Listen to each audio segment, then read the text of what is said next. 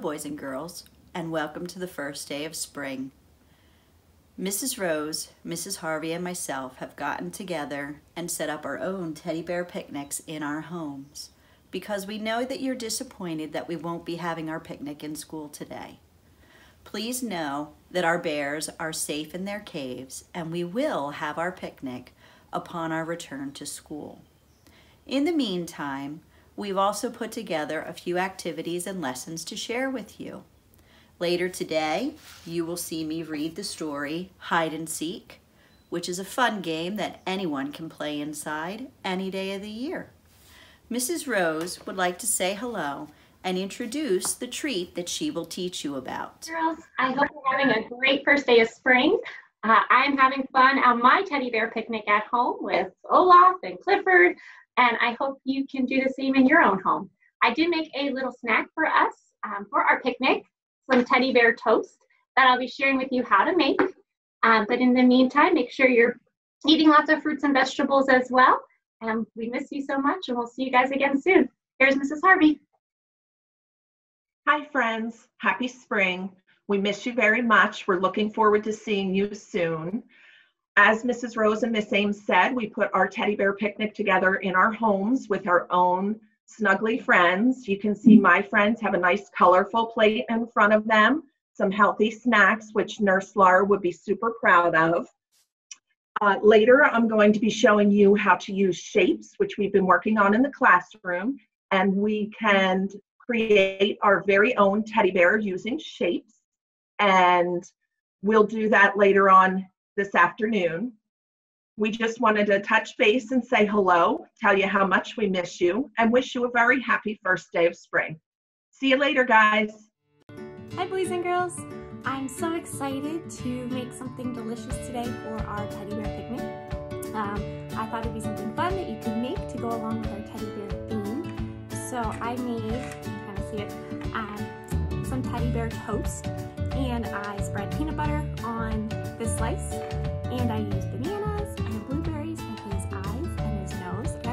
make another piece um, using apple butter instead just in case you can't have peanuts. So um, you can ask for help for getting a knife and spreading, but you're going to use some apple butter. Get a nice little scoop on your bread.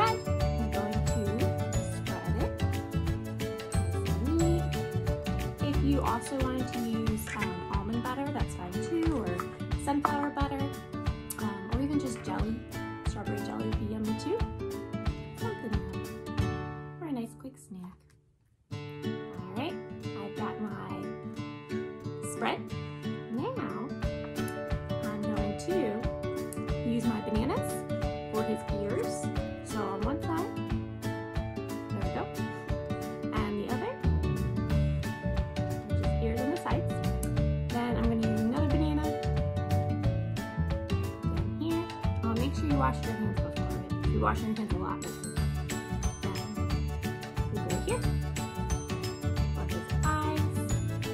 And then you might want to dab a little bit more um, whatever spread you're using on the middle of the banana for his nose.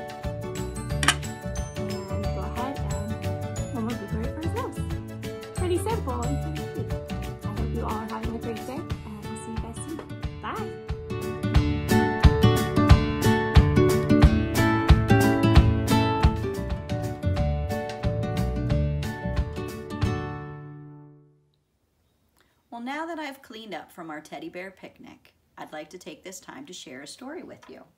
It's called Hide and Seek by Brenda Shannon Yee, illustrated by Debbie Tilley. Remember, the illustrator is the person who draws the pictures.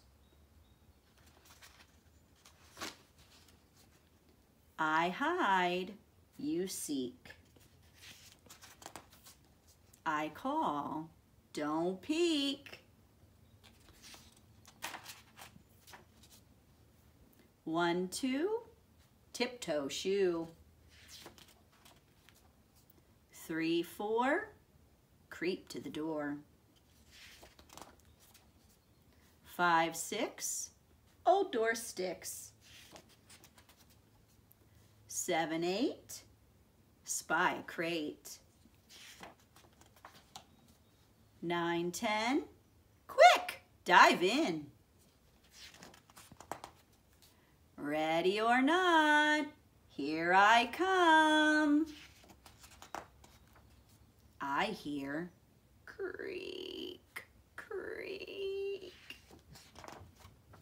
Just once, I peek.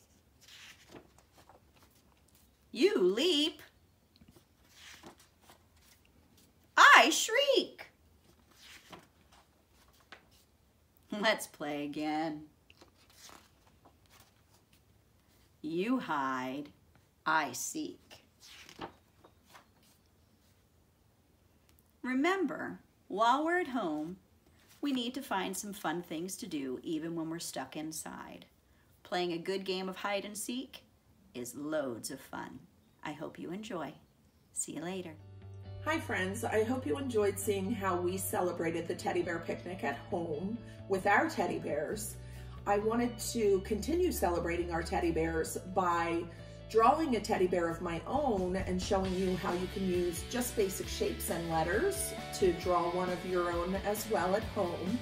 And what I'm gonna start out with is an oval for my teddy bear's head. And then, see that nice round oval? Then I'm gonna take a U shape, almost like the uppercase letter U that we learned a long time ago. So that looks like a nice uppercase U. Then we're gonna add on some oval arms. And another one over here. And then we're gonna make that letter U again, but we're gonna do it down here for our bear's legs. Long and skinny U on this side and a long and skinny U on this side. Looks pretty good so far. Let's add some details. We can add a circle down here to make it look like his little foot. Two little circles.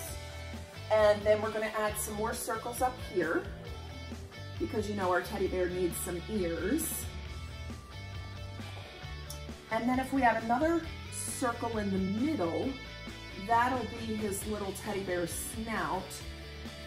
Looks pretty good.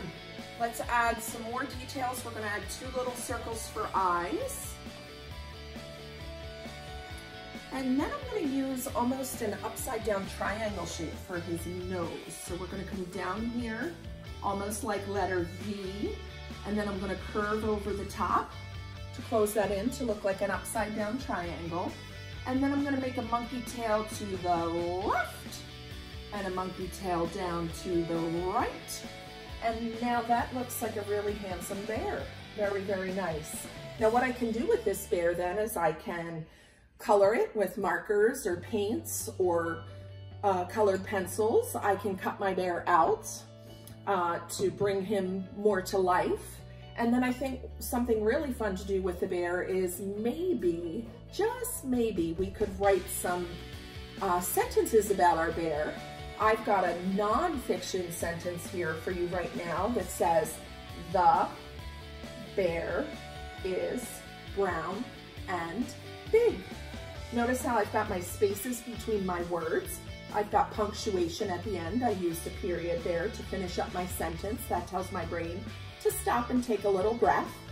Or I could get really fancy and creative and I could write a fiction sentence about my bear. My bear likes to play, hide, and seek. Again, you see my spaces. I've got that punctuation at the end of this sentence as well. And you'll notice there's a lot of sight words in this sentence, which I could underline. I could put a little star over top. Um, so that's a fun way that you can extend celebrating our first day of spring with our bears. I know you're excited to see them. They'll be waiting for you when you get back to school. I hope you enjoy it. Please send pictures or videos of you doing this project if you decide to do this at home today. See you guys.